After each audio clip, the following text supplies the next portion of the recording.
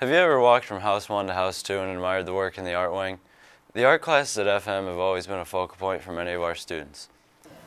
Whether it's studio art or advanced art, these programs have benefited many students. Students who have taken art all through high school have improved their skills and have become tremendous artists.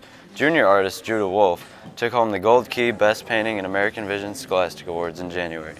He has been a part of these art classes since freshman year and talks about the feeling of finishing his award-winning piece. I had been working on that piece for a year and a half, um, just like very meticulous little brush movements to get all the details in.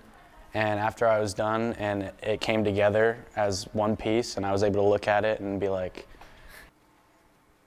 So if you're looking to enhance your art career or just have fun, look into taking an art class at FM. For FM TV, I'm Jack.